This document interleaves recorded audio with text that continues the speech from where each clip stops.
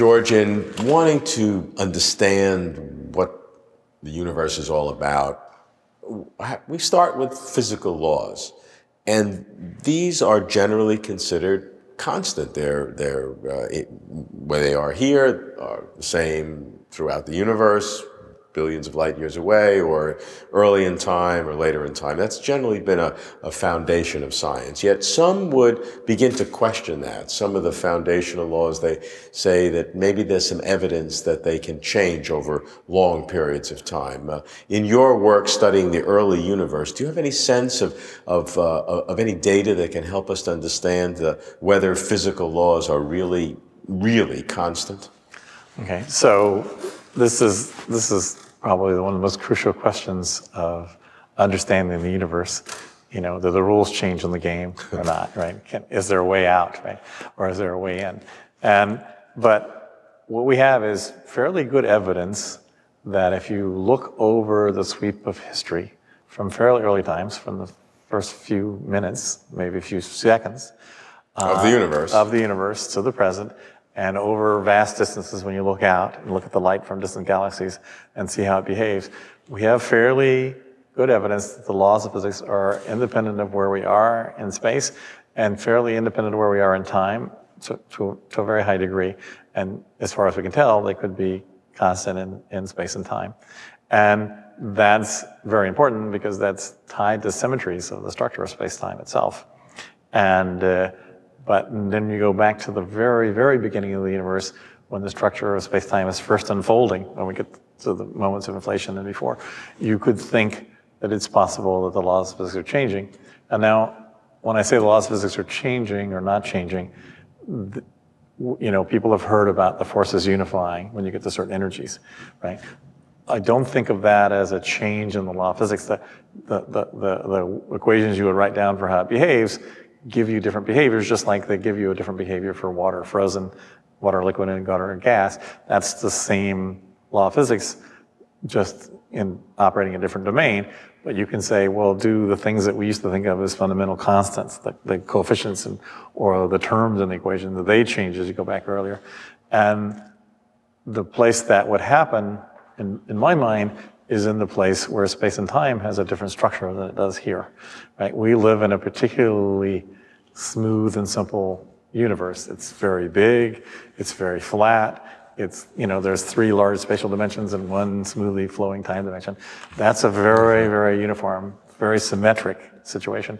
The laws of physics then show up very smoothly and very symmetrically there. And they allow us to do all this description and understanding very well. But when you go back when the universe, space and time might have be all twisted up, and then things could be very different. Mm. And so that's the question. Um, the easiest conceptually thing to do is just extrapolate everything we do right back to the beginning and then use some logic about how things must behave when you start twisting things up. And just guess and choose Occam's razor, just the simplest possible version, and see what you come up with. And you come back to the system like string theory where you have you know, a free parameter and it wiggles around and it ends up producing, you know, it, it, there's a little motion at the beginning when space-time is wrinkling around until it gets flat and inflation takes over. And, and uh, then you get the rules we have now. And that's the sort of picture that I think is a good paradigm to start with to, to pursue it. But it doesn't mean that other people won't come with other ideas and we can test them because we, we have observations, right? It's much harder to change the laws of physics you know, over space and time in the more recent universe that is after a few minutes to the present than it is in the very beginning. What kind of observations do you make that gives you this level of confidence right. in terms of uh, uh, the laws of physics being constant over distance and times? Right. So the, the most common set of observations that people or astronomers go out and look at distant galaxies and just like looking at the sun, you see the, the thermal radiation from the sun, plus you see the lines from the various elements. You can look for the thermal radiation from the stars and those distant galaxies and the lines from it, or you can look particularly at the supernova, which are extremely bright, and you see the shape of the curve from the supernova plus the lines in it, and you see how those lines look, and you see the same elements, and you see the lines appearing with the same ratios, and then you can do more detailed studies where there are sometimes the, there's there's multiple ways the electrons could line up in an atom to give you the same line. But if there's a magnetic field or some other effect, it can slightly differentiate them, and then you can do ratios and and and compare different things. So you can actually look and separate out the, some of the various constants, and people are trying to do that, and you know, every now and then they say, well, maybe it's staying. But the, the kind of variation that people are talking about over billions of years is less than a part in a 100,000, right? And so it's. That's, that's even in, in the possibility of a change. That's right. not certain. In recent times. Whereas in the very beginning of the universe, it could be changing by big factors, right? And so that's the, you know, so from my viewpoint of view, the, the description, the simple description says it's pretty much been fixed since the beginning, right? And now uh, you can do. But it doesn't mean that people don't have other ideas, and and we test them by making these kinds of observations. Well, um, some of the theories that uh, would generate multiple universes, for example, would have each universe having a whole different set of of uh, of, of, laws and, and constants of uh, uh, of physics. But those are more theoretical. We don't have evidence because in our universe, it's it seems to be set. Right. And the and so when we say our universe, we generally mean the part of the universe we, we can, see. see. Right. And we may take a little bit broader view and say there is a bubble produced by inflation or whatever made the accelerating expansion of the universe that produced all the things. Thing. That may be very huge. It might be that we're seeing a tiny, tiny fraction of that. And that could be very huge, but it doesn't mean there couldn't be other bubbles. But, and then the question is, could those have different parameters? And that then depends on how you think the very, you know, essence of structure of space and time and the strings or the branes or whatever it is that the membranes that make up the fabric of space and time and the particles, how they actually interact and behave. And and uh, for a while, we had a view there was only one possibility. Now we have the, the view there could be multiple possibilities, but we don't know whether they're stable or not, whether they collapse into one thing or not. Looking at our universe, the universe that we do see, what are the implications that the laws of physics are apparently constant, at least up until the very beginning? Well, it makes it easier for students right away because you have to learn, only learn one set of laws. But it also makes it easier to calculate. But it also tells you how quickly the universe became stable and like it is, you know, in some sense, like it is today.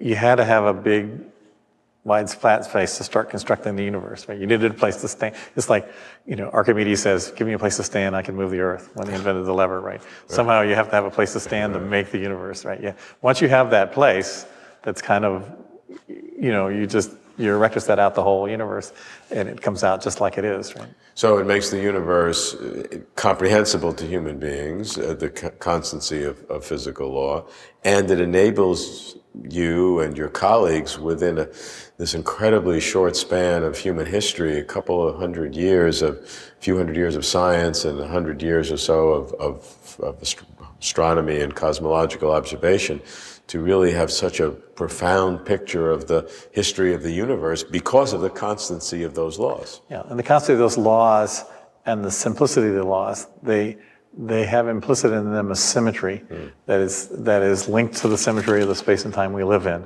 And and it's not like you could just change the law of physics and not change the structure of space time too, although I'm sure people will try. But if you just look at how things go, just you know the fact that when you rotate around, you look the same, right? If you take an object and rotate it around, right. it looks the same. That's a symmetry of space, but it also is a symmetry. It's conservation of momentum, just like being able to translate in space is conservation of momentum, right? When you drive your car, it keeps going along the same way, right? Except for air resistance. And likewise, there's, there's all the symmetries that we have in space, they end up manifesting themselves as a law of physics, right? And so if you try changing the law of physics, you may have to change the symmetry of space and time. And because we don't change the law of, of, physics, as far as we know, then the symmetries are maintained and the universe has this beautiful story that we see. Right. The universe is this beautiful symmetric place with all these, it's like snowdrops forming, you know, snowflakes forming everywhere. They, they all, each are a little different, but they all have the same symmetry pattern to them. And that's how the universe kind of unfolds. It doesn't mean at the very beginning that things weren't in flux, but it settled down very quickly and went on from there.